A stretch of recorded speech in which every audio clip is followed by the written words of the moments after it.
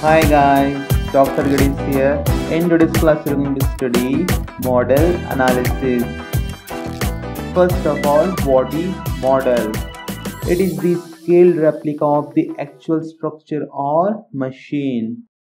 And what is prototype? It is the actual structure or machine. So what is model analysis? It is the analysis of models of the actual machine or structure. Why? To get the most efficient and the safest design in the most economical and easy way. And what is similitude? Similarities between a model and a prototype is known as similitude.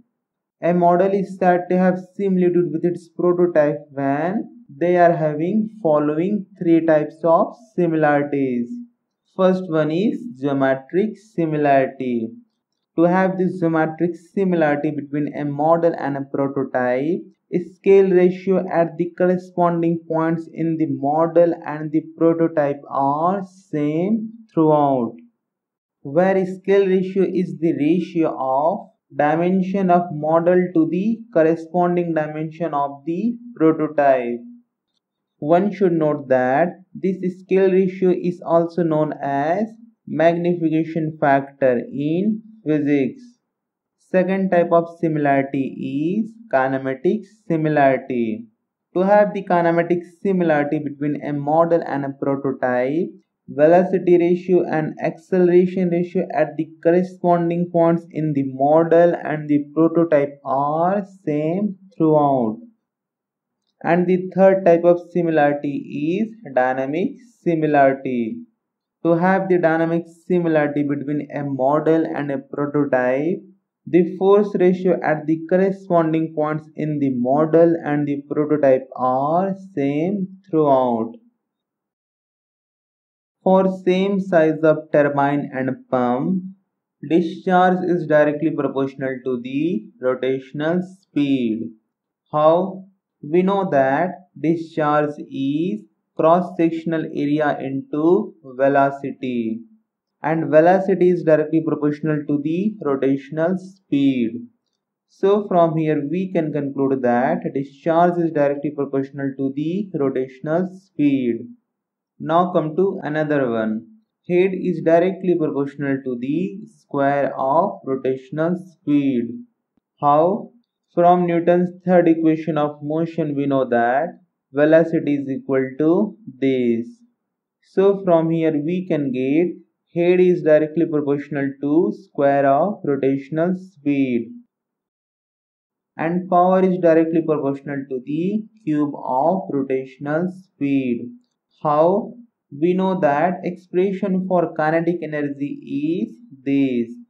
So expression of power would be half m dot v square where m dot is mass flow rate which is equal to density into discharge and we already know that discharge is directly proportional to rotational speed and v square would be directly proportional to the square of rotational speed.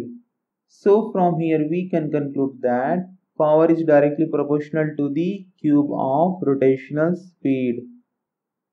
So far we know that for same size of turbine or pump, discharge is directly proportional to N, head is directly proportional to N square and power is directly proportional to N cube. From these two, we can further conclude that Discharge is directly proportional to the under root of head. That is, discharge upon under root of head is a constant and it is represented by QU. And this constant is known as unit discharge, which is nothing but the discharge of the turbine working under unit head and from these two we can further conclude that power is directly proportional to the h to the power 3 by 2 that is power upon h to the power 3 by 2 is a constant which is represented by this and it is known as unit power which is nothing but the power of the turbine working under unit head. And from here we can directly conclude that rotational speed upon under root of h is a constant and it is represented by this which is known as unit speed which is nothing but the speed of the turbine working under unit head. Again for same size of turbine or pump, discharge is directly proportional to N, head is directly proportional to N square and power is directly proportional to N cube. From here, discharge upon N is a constant. And from here head upon n square is another constant. And from here power upon n cube is also a constant. And from these two discharge upon under root of h is also a constant and from these two power upon h to the power 3 by 2 is also a constant sorry by mistake i have written here h to the power 3 by 4 which is actually h to the power 3 by 2. So far we were doing our analysis for the same size of turbines. What if the size of turbines are not same but they are similar in geometry, kinematics and dynamics?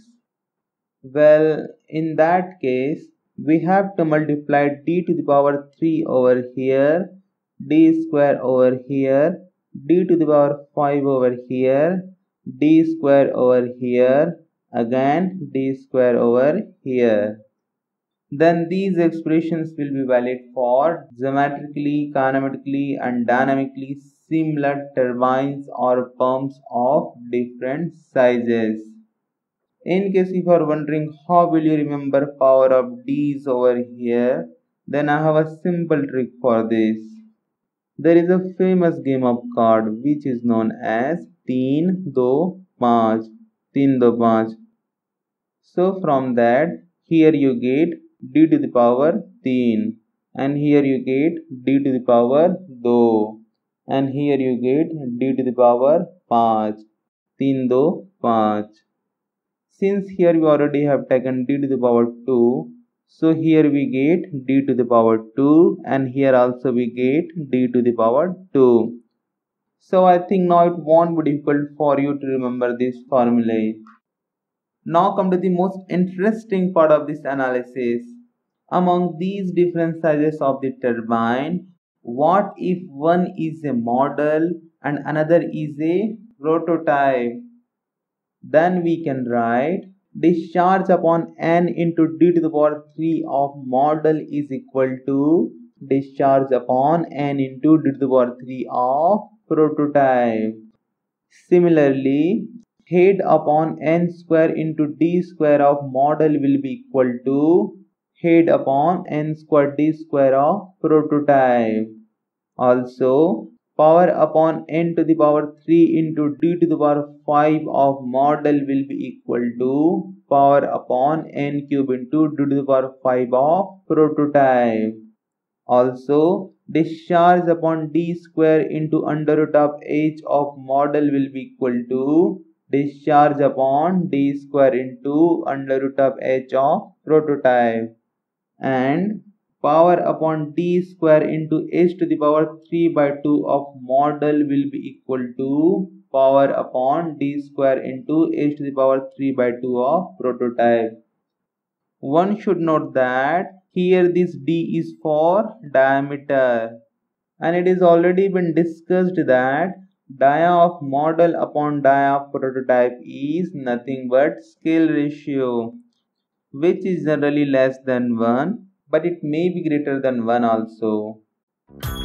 That's it for this class guys. If you found my these videos useful, chances are my these videos are useful too. So check out this video and subscribe my channel just click on this and do not forget to click the bell icon. Thank you for watching this video till end. I really appreciate